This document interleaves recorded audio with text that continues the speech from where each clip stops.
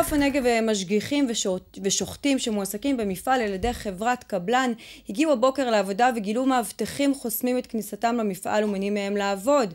לטענת העובדים הרקע להתנהגות ההנהלה או ניסיונות התאגדות של העובדים בדרישה לזכויות ולכספים שלא שולמו להם. שלום לרפאל שריקי שוחט בעוף הנגב כבר שבע שנים. שלום וברכה. רפאל, תספר לנו מה קרה הבוקר כשהגעתם למפעל.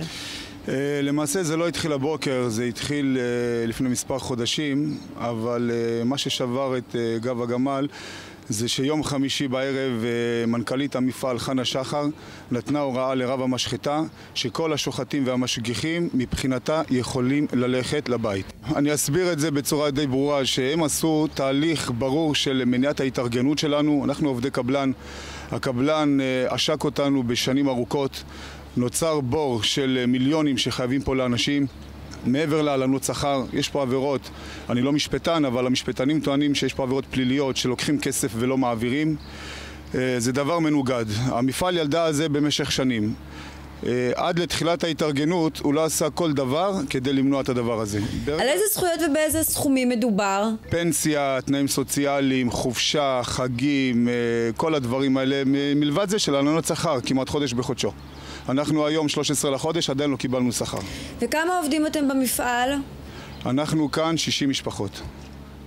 60 עובדים ששוחטים ומשגיחים בעוף הנגב. כבר מיום חמישי הנהלת המפעל הודיעה שאין לכם יותר אה, עבודה, והבוקר גיליתם שמצאו לכם תחליף. היום אה, הם הביאו לנו מאנשי אבטחה, אני מקווה שאתם תראו את זה בהמשך, שרק לראות אותם זה לברוח. אבל ברוך השם אנחנו חזקים, שרים, מאוחדים, ובדרך לא דרך הצליחו להכניס שם משגיחים ושוחטים על מנת לשבור את ההתארגנות.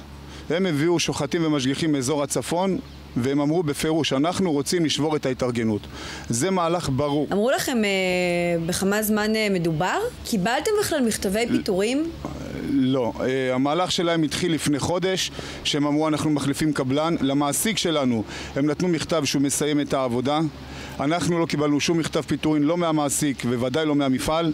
אנחנו המשכנו לעבוד חודש, שזה עבודה פיזית קשה מאוד, וברוך השם, גם מבחינת הכשרות, רמת הכשרות מאוד גבוהה. חודש, 60 אנשים עובדים ברמת סכינים גבוהה, כשרות מצוינת, והם לא יודעים מה הולך להיות מחר, ולמרות הכל נתנו ממש עבודה מסורה, והכל היה בצורה מאוד מאוד טובה.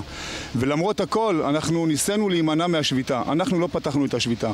הם הבינו שאנחנו ברוך השם חזקים ולא יכולים למנוע את ההתארגנות שלנו אז בלית ברירה הם עשו כנראה את מה שהם עשו. הצעה של הקבלן הייתה חדש. הצעתו הייתה שאנחנו נוותר, נחתום בהסכם איתו שאנחנו מוותרים על כל חובות העבר. אנחנו כמובן שלא מסכימים. יש פה אנשים לצידי, אני הצעיר שבין החבורה, יש פה אנשים... כן, רפאל, לא נותנים לכם להיכנס, אין לכם עבודה, מה הלאה? אנחנו פונים לבית דין לעבודה, אה, דיברתי עם הרב יצחק כהן מש"ס, זה בעזרת השם יעלה גם אה, מקווה לדיון באחת הוועדות בכנסת. ומקווים שבעזרת השם הצדק ינצח ואנחנו לא נהיה, לא נעבוד בתנאי שכר שאני לא רוצה להשתמש במילה אבל אתם בטח מבינים לאיזה תנאי שכר אנחנו מתכוונים. רפאל אה, שריקי, תודה רבה לך ואנחנו נמשיך אה, לעקוב אחרי הסיפור הזה. תודה רבה רבה רבה, תודה רבה. זאת אה, תגובת אה, מפעל עוף הנגב, השוחט, השוחטים המועסקים במפעל על ידי החברה הקבלנית אה, אגודת השוחטים ולכן היא זאת שאמורה לשלם את התנאים הסוציאליים של השוחטים. בחודשים האחרונים נודע לנו שהקבלן לא מפריש לעובדיו עבור תנאים סוציאליים למרות שהעברנו לידיו את כל הכספים להם התחייבנו. משנוכחנו לדעת שהוא לא נוהג על פי חוק, החלטנו להפסיק עמו את העבודה ולהתקשר עם קבלן חדש תוך דרישה להעסיק את כל עובדי הקבלן הקודם והוא נהנה. לשוחטים מוצע לעבוד באמצעות הקבלן החדש ובכך לקבל את כל התנאים המגיעים להם מעתה ואף לשפרם.